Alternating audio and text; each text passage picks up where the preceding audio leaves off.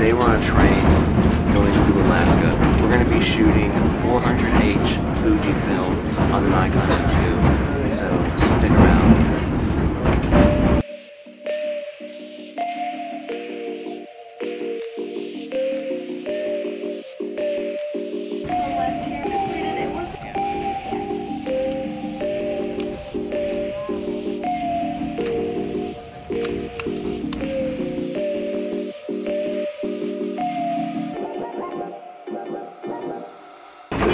On the White Pass and Yukon route.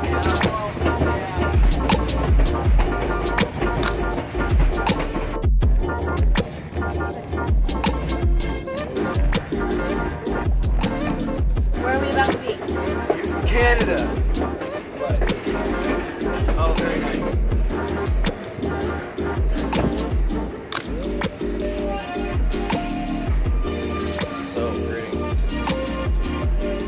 So we're 2,880 feet above sea level, and we're literally in the clouds now.